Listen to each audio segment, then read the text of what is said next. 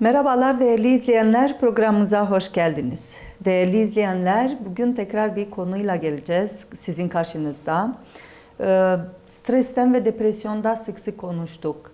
Ve biliyoruz ki e, bugünlerde stressiz veya depresyonsuz e, yaşamak mümkün değil. Yaşamamak mümkün değil.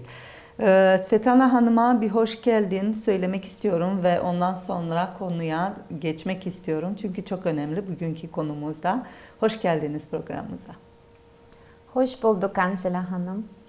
Svetlana Hanım stres ve depresyon sohbet ederken beyin sağlığından bahsettik biraz. Ee, yani depresyon e, sebeplerinden biri de e, beyindeki sağlıksız değişiklikler olduğunu söyledik biraz. Ee, ve bugün beyin sağlığı nasıl koruyabiliriz diye bahsetmek istiyoruz.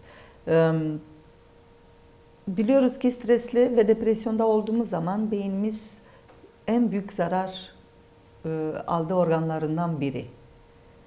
Ee, şöyle diyebiliriz Angela Hanım, e, beynimizi korumak e, bizi hem stresten hem depresyondan evet. koruyabilir. E, ve bizim elimizde e, çok şeyler var yani yapabiliriz onu. E, çünkü depresyondan bahsederken e, şunu hatırlıyorsunuz şöyle dedik bazı beyindeki kimyasal dengesizlikten dolayı kişi depresyona girer. Hatta dedik ki depresyonu biz ikiye ayırdık. Klinik depresyonu var.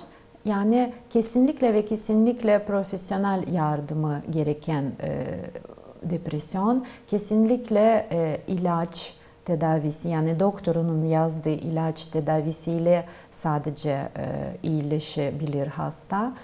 E, ve klinik depresyon uzun süren depresyon, ağır depresyondur. Yani muhakkak doktora görülmesi gereken bir durumdur dedik.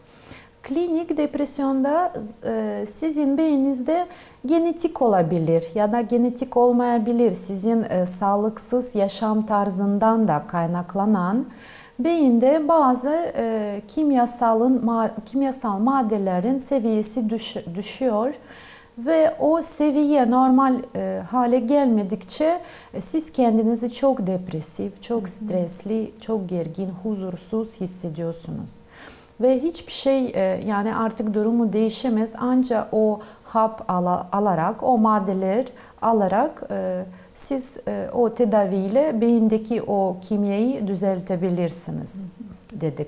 Ama duruma duruma bağlı depresyonlarda hani bazen evet stresten dolayı yani böyle kısa süren orta dereceli depresyonlarda kişi kendi böyle sağlıklı e, ya sağlıklı davranarak yani egzersiz yaparak dedik işte e, sağlıklı diyet beslemesiyle e, düzenli uykuyla sağlıklı yaşam tarzıyla beynine yardımcı olabilir. Hani belki de orada bir biraz bir şeyler beyindeki bir biyokimya bozulmaya başlıyor. Aşırı stres zamanında da beynimiz etkiliyor. Hı hı.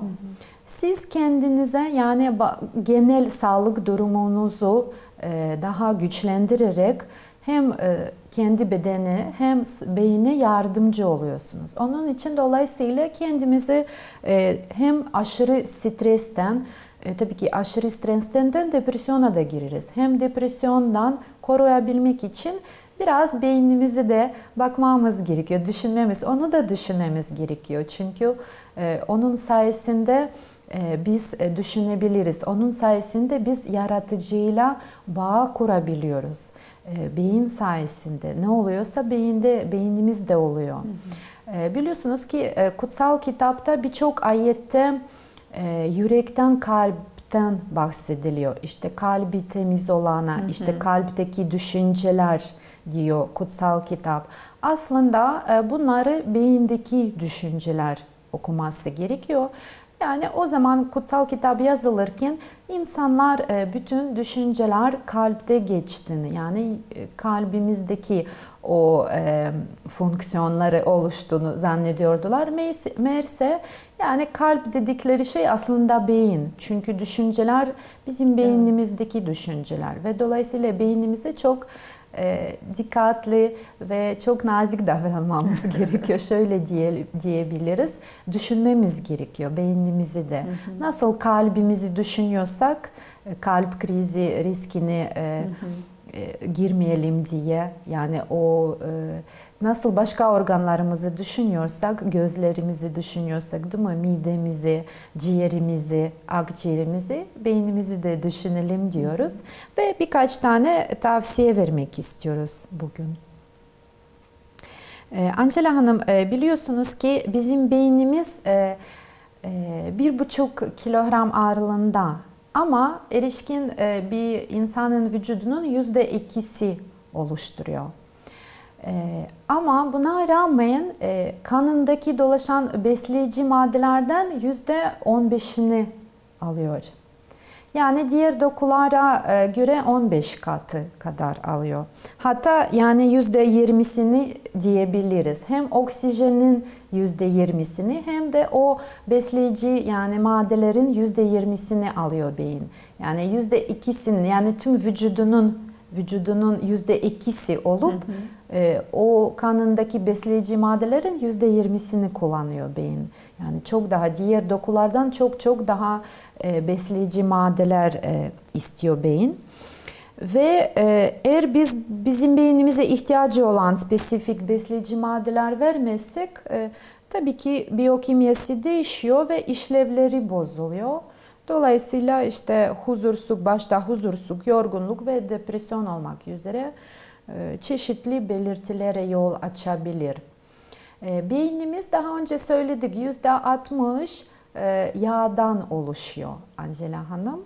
Yağdan ve omega 3 ve omega 6 yağ asitlerden oluştuğu için onun için diyoruz bu kadar önemli bu günümüzde hep diyoruz ya omega 3 evet. yağ tüketelim. Evet. Omega 3 yağ tüketelim. Balık yağ diyoruz değil mi? Çocuklara özellikle yedirmeye çalışıyoruz balık yağları. Bizim çocukluğumuzda da bu vardı değil mi? Ee, balık yağ e, takviye verilirdi. Ee, çok önemli. Beyin onu çok seviyor. Onun için e, ülkemiz çok bereketli balık e, evet. bakılırsa değil mi? Balık, balıklar çok var, çeşitleri var, denizlerimiz var. Bol bol balık yiyelim diyoruz. Ve tabii ki sadece balık yemeyen kişiler olabilir. E, ceviz, ketem tohumu, tam tahıllar dedik, hı hı. E, baklagiller dedik ve yeşillikler. Oradan hı. da omega 3 e, yağ alabiliriz. Omega 3.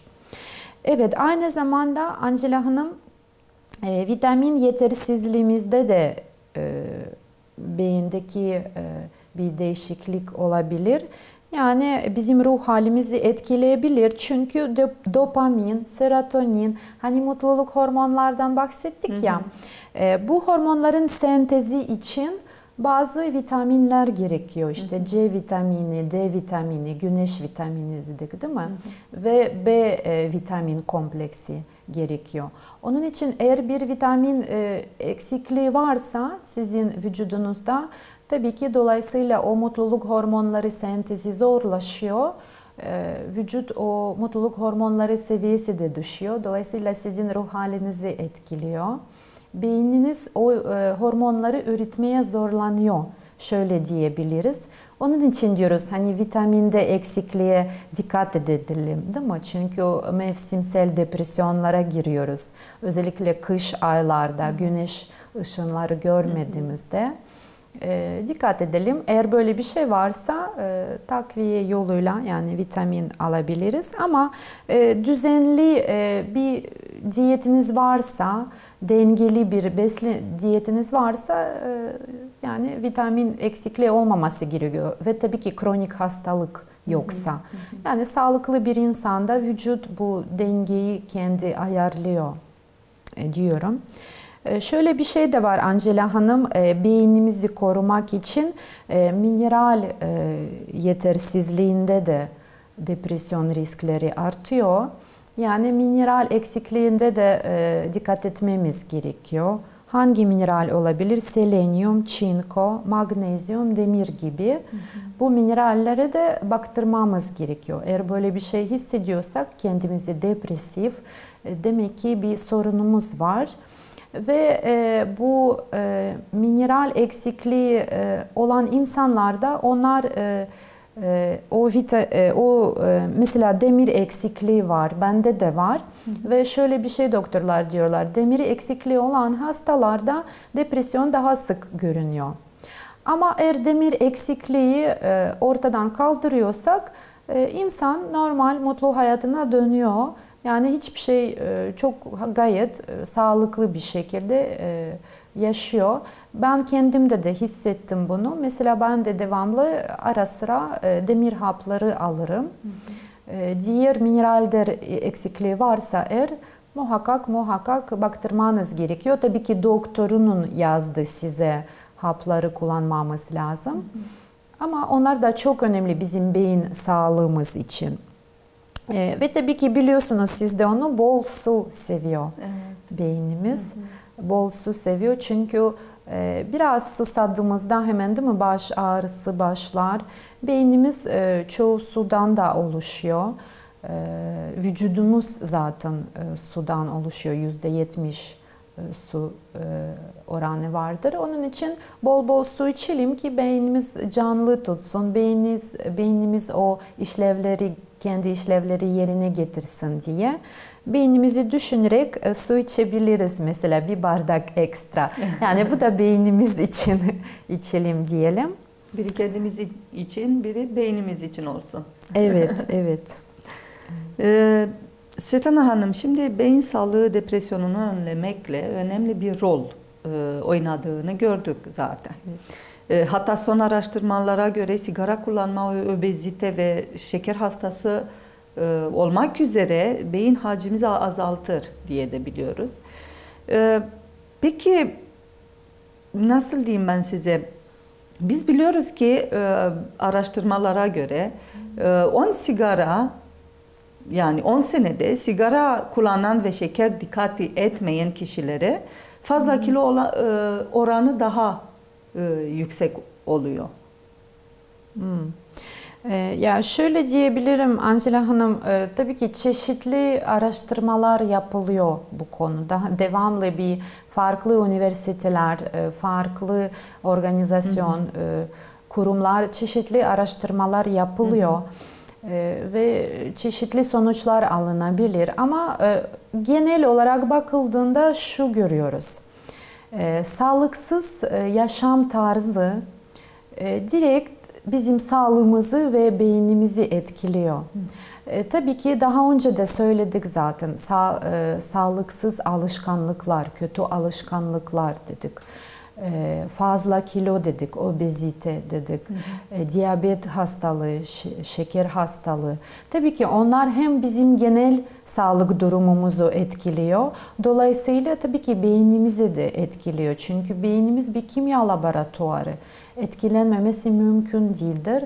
Tam tersine de de sağlıklı yaşam tarzı hem genel sağlık durumumuzu hem beynimize e, sağlık verir ve beynimiz daha kendi işlevleri daha böyle hızlı ve gayet normal şeklinde yaptığında kişi kendini tabii ki mutlu hisseder, hı hı. depresyona girmez ve stresle e, başa çıkabilir. Evet Svetlana Hanım, e, beyin sağlığıyla ilgili konuşmaya devam edeceğiz. Değerli izleyenler, kısa bir aradan sonra tekrar sizin karşınızda olacağız.